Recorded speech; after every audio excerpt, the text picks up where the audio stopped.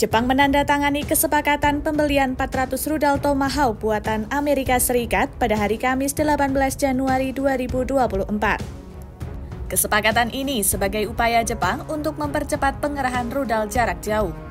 Pengerahan rudal tersebut merupakan bagian dari upayanya membangun kemampuan militer menghadapi peningkatan ancaman dari China. Jepang akan mempercepat pengerahan rudal jelajah jarak jauhnya yang bisa mencapai target di China dan Korea Utara. Saat ini, pemerintahan Perdana Menteri Fumio Kishida sedang memperkuat kekuatan belanja militernya. Jepang juga berjanji untuk melipat gandakan anggarannya mencapai sekitar 10 triliun yen atau sekitar 1,54 kuadriliun rupiah. Pembesaran anggaran yang dilakukan Jepang ini menjadikan Jepang sebagai negara dengan anggaran militer terbesar ketiga di dunia setelah AS dan China.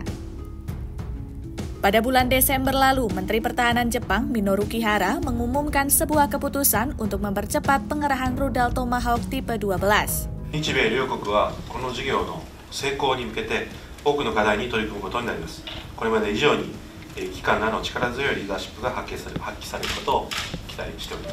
Pengerahan sejumlah rudal tersebut akan dimulai pada tahun pajak yang diawali pada April 2025, setahun lebih cepat dari target sebelumnya.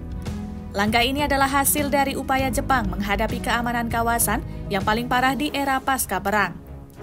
Sebelumnya, pada bulan November lalu, Washington menyetujui penjualan senjata senilai dua tipe rudal Tomahawk. Masing-masing 200 unit untuk Blok 4 dan Blok 5 yang telah ditingkatkan. Sejumlah pejabat mengatakan bahwa rudal-rudal tersebut bisa diluncurkan dari kapal perang dan menerjang target pada jarak 1.600 km jauhnya. Jepang dan Amerika Serikat sepakat untuk mempercepat pengiriman sebagai respons terhadap keamanan kawasan yang semakin memburuk.